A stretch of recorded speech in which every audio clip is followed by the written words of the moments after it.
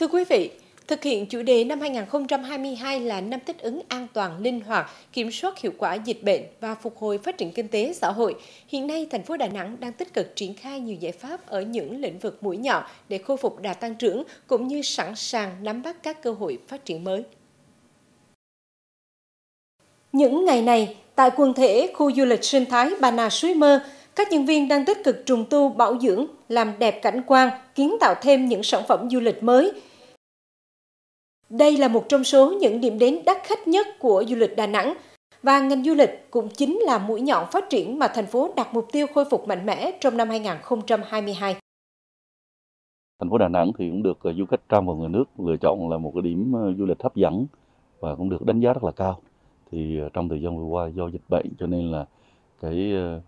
hoạt động du lịch của chúng tôi cũng phần ờ, giảm sút thì ờ, theo cái chỉ đạo của chính phủ và cái sự nỗ lực của thành phố thì chúng tôi sẽ cố gắng là khôi phục lại cái hoạt động này à, một cách mạnh mẽ à, trở lại như cái thời kỳ vàng son à, bắt đầu từ tháng 3 của năm 2022.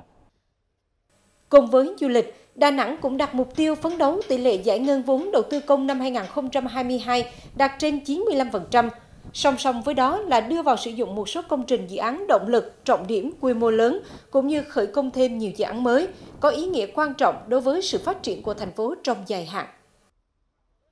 Sớm đưa vào sử dụng một số công trình dự án trọng điểm như nút giao thông Trần Thị Lý, nhà máy nước Hòa Liên và một số các tuyến đường như đường DH2 và phải quyết tâm trong năm 2022 phải đưa vào sử dụng được cái tuyến đường vành đai phía Tây. Phấn đấu khởi công một số công trình dự án trọng điểm đã được Ban Thường vụ Thành ủy xác định, đó là dự án đầu tư xây dựng bến cảng Liên Triểu, khu du lịch nghỉ dưỡng và vui chơi giải trí tổng hợp Làng Vân, dự án không gian sáng tạo tại Hòa Xuân,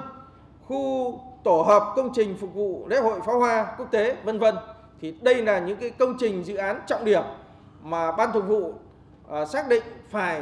được khởi công trong năm 2022. Một năm mới mở ra nhiều triển vọng nhưng cũng đầy thách thức, đòi hỏi đảng bộ, chính quyền và nhân dân Đà Nẵng nỗ lực phấn đấu mạnh mẽ, quyết liệt hơn, tận dụng tốt cơ hội, cơ chế, chính sách, động lực tăng trưởng mới, vững vàng đưa thành phố phát triển nhanh, mạnh hơn, vững chắc hơn, tiếp tục chung tay xây dựng một thành phố bên sông Hàn, giàu đẹp, an bình và đáng sống.